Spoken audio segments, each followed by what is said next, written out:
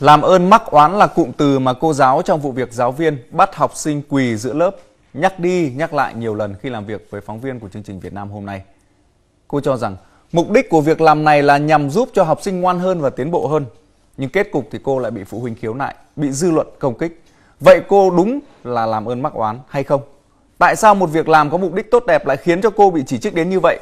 Để có ờ, câu trả lời thì trước hết chúng ta sẽ cùng theo dõi lại diễn biến của vụ việc cái đã. Đây là bức ảnh phát tán trên mạng xã hội mấy ngày qua. Một nam sinh lớp 9 quỳ trước lớp chịu phạt trong khi cô giáo vẫn đang ngồi trên bục giảng. Còn đây là nơi xảy ra sự việc. Lớp 9B, trường trung học cơ sở Tô Hiệu, huyện Thường Tín, Hà Nội. Cô Lê Thị Quy, giáo viên chủ nhiệm lớp, người áp dụng hình phạt quỳ, hiện đã bị tạm đình chỉ công tác 7 ngày.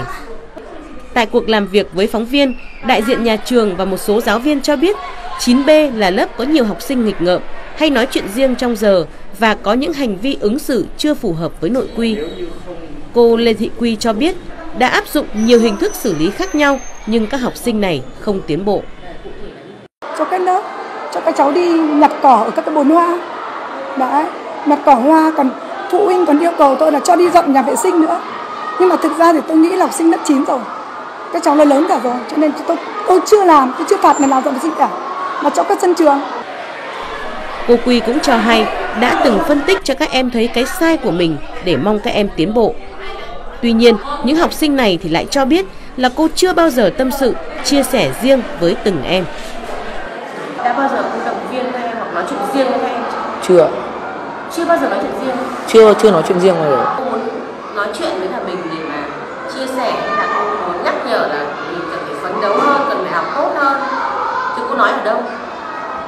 Cô cô không nói. Thế những giờ sinh hoạt thì cô sẽ nói gì về những trường hợp nghịch ngợm như thế?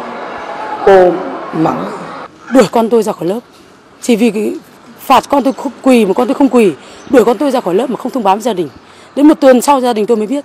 Tôi tự hỏi rằng nếu như mà tôi không biết thì con tôi cứ đuổi con tôi ra khỏi lớp thì nó ra ngoài nó xảy ra chuyện gì thì ai chịu trách nhiệm cho tôi đây Đại diện trường trung học cơ sở Tô Hiệu cho biết cô Quy là giáo viên đã có 23 năm kinh nghiệm. Những gì cô làm nhằm mong muốn các em tiến bộ hơn. Tuy nhiên, biện pháp cô đưa ra chưa phù hợp.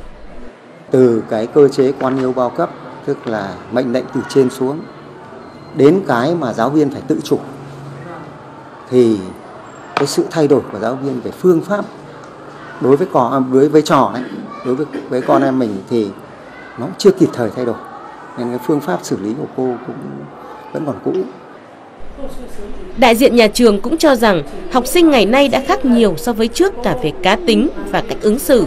Vì vậy, Bộ Giáo dục và Đào tạo cần sớm điều chỉnh quy định về các hình thức kỷ luật đối với học sinh vì những quy định hiện hành đã quá cũ, gây lúng túng cho giáo viên. Mong muốn của các cô giáo thì tôi cho rằng chắc chắn là đều xuất phát từ những cái điều tốt đẹp và mong cho học sinh mình ờ, ngày càng tiến bộ hơn thôi. Nhưng mà rõ ràng là cái hình thức xử lý như vừa rồi thì theo cá nhân tôi thì thấy rằng là nó chưa thực sự là phù hợp nếu như không muốn nói là uh, phản giáo dục hay là gây tổn hại đến tâm lý của các em về sau này nữa. Và đó có lẽ là lý do vì sao mà cô bị nói rằng là làm ơn nhưng mà lại mắc oán. vâng, bên cạnh những ý kiến phản đối việc cư xử hà khắc của cô giáo này thì một số ý kiến lại cho rằng như thế này. Nếu làm vậy mà học sinh nên người thì cũng là điều cần thiết thôi. Không nên gây áp lực và gây khó khăn cho các thầy cô bằng cách là động một chút là xử lý kỷ luật và phản đối ờ, như hiện nay.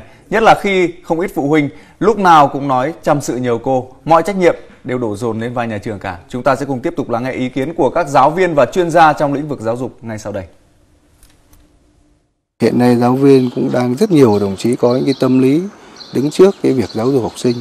Đặc biệt là hơi một chút có những vấn đề gì thì lại đưa lên mạng rồi truyền thông à, phản ánh. Thì là cũng đang bị ảnh hưởng rất nhiều về mặt ừ, tinh thần của giáo viên. Và tôi cho rằng là để làm tốt được cái việc này thì ngành giáo dục và nhất là các cơ quan quản lý cũng có, phải có những cái biện pháp. Đặc biệt là tăng cường thêm những cái tập huấn để cho các thầy cô có được những cái kỹ năng xử lý ở trên các cái giờ học trên lớp. Trẻ con thì nó chưa hiểu biết đầy đủ, chưa hình thành được nhân cách một cách toàn diện. Vì vậy nhà giáo thầy cô chúng ta phải giúp học sinh hình thành nhân cách phải uốn nắn phải giáo dục phải kiên trì. Nếu trẻ con nó đã ngoan cả thì cần gì đến nhà trường? Trẻ con nó đâu vào đấy rồi thì cần gì đến thầy cô? Điều thứ hai là cách ứng xử của học sinh nó phụ thuộc vào thầy cô đấy. Thầy cô mà yêu thương mà chăm lo mà có cách ứng ứng xử thật là thân thiện thật là văn minh thì học sinh đối xử văn minh lại. Thầy cô mà tôn trọng học sinh thì học sinh nó tôn trọng lại. Còn cách hành xử cái kiểu kỷ luật hà khắc ấy, nó chỉ áp dụng đúng với thời kỳ phong kiến đế quốc thôi thời đại ngày nay con người văn minh rồi. Trẻ con đừng trên nó là hỗn láo. Nó biết hết đấy. Và chúng ta ứng xử như thế nào? Gieo cái hạt thế nào thì nhận quả đấy. Tôi nghĩ nhiều là như thế.